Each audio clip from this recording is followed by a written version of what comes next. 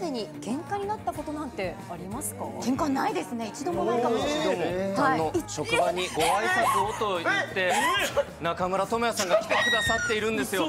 もしあの本来そのつもりではなかったと思うんですよ。ご挨拶をと思って来たんですけど気づいたらピンマイクをつけておりました。